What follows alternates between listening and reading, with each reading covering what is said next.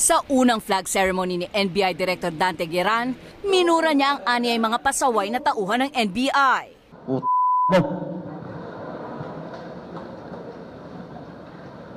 Kahayupan yan.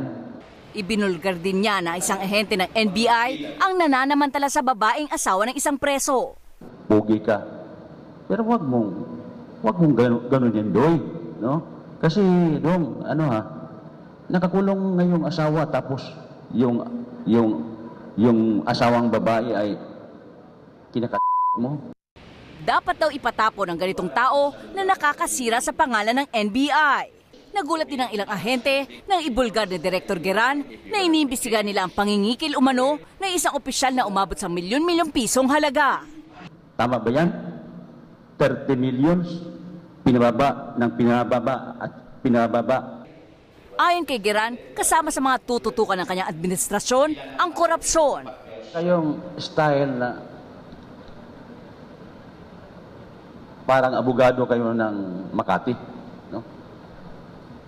Down payment muna bago ang serbisyo. Huwag ganun. Hindi rin pinalampas ni Geran ang isyu ng pakikiapid na ilang tauhan.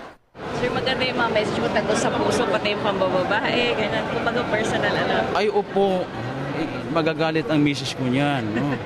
Bawal talaga yan. No? So, that's, that's a, a warning na wag nilang gawin dahil if they will not change, I will change them. Ayon sa direktor, dapat matanggal ang ilang mga tinik sa bureau. Pero meron din mga dapat papurihan. Tularan natin si Doktora, no? ah, Charles Labrador. Matapos ang flag raising ceremony, kinausap ni NBI Director Giran ang mga opisyal na mga tauhan na kanyang kinastigo dahil ang ilan dito ay handa na raw niyang ipasibak. Zia Ambrosio, ABS-CBN News.